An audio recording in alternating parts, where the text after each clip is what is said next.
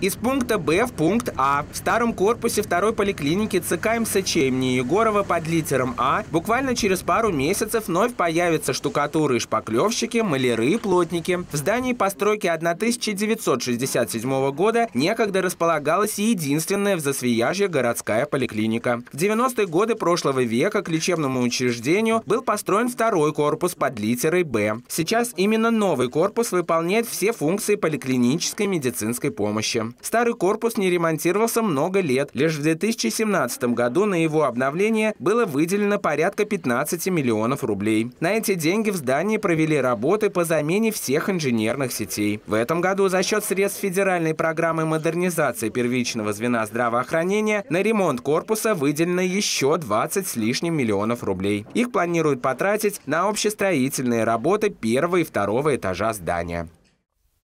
В мае этого года здесь продолжатся ремонтные работы для того, чтобы узкие специалисты, дневной стационар, прививочный и процедурный кабинет возвратились в родные стены. Сейчас же все эти специалисты находятся в новом здании поликлиники.